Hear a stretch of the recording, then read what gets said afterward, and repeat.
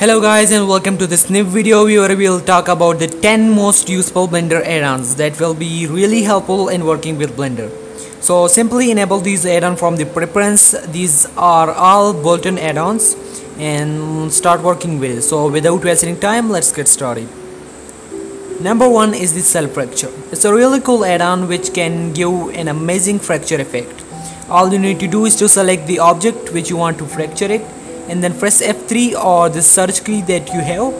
Uh, some people have the search key on spacebar so if you have that click on it. Uh, and then you you need to search for the cell fracture. So search on it and you will get this. Click on it and then you can play with the settings. And you can get something awesome.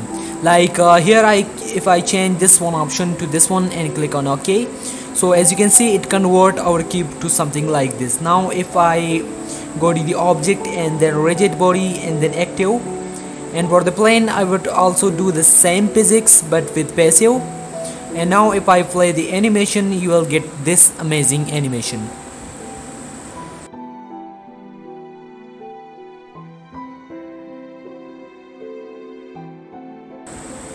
Number 2 is the loop tool. This add-on can do a lot but the most popular thing I ever seen is the making a circle hole from a square. So for example if I have this plane and I select some pieces and then press right click go to the loop cut and then circle and magically it will convert it to circle and now we can extrude or, or whatever we want.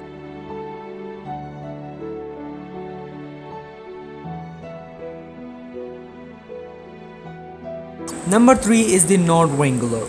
It's a really popular add-on but most of the people use it as a very basic level. And I want to highlight something more that you can do with it. Like if I press Alt and right click and drag it so as you can see it automatically connect and you don't really need to be careful about it. And no matter how far you are from the object, you are from the nodes, it will connect it automatically and one other thing you can do with it that if you press alt shift and do the same thing you will get a small menu where you can choose where you want to connect in node. Number four is the ArchiMesh it's a library add-on which which help us in architecture. So basically it adds some new objects to you some new objects to the add menu like room, door, roof, window, stairs, etc. Number 5 is the IVY Gen.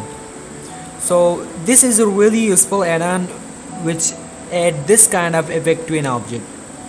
So select an object and then go to the create you will get a new menu where you need to click on the Ivy new Ivy and then you can play with the settings and you will get something really cool result something like this. Number 6 is the image as plane. It's an add-on for importing image as plane. It's mostly used for adding trees to an environment. So if I press shift A and then here I can find this new option image as plane. So now if I click on it then you need to browse the alpha image that you have so I have these trees alphas. I will select on it and as you can see it add our image as a plane. And now I can make it at background and I can get something really cool result. So the number 7 is the extra object. It's an add-on which allow us a library where you can get a lot of different models such as diamonds wall factory honeycomb and more. Number 8 is the tissue add-on this is a, an awesome this is an awesome add-on which allows us to create different complex shape as you can see on the screen right now. So here we will use it very simply. So I have a monkey head and I will add a cone. And then select the cone first and then the monkey head and then go to the edit and then click on this option tessellate and you will get this spiky object so the number 9 is the landscape. It's an add-on which allows us to create landscape.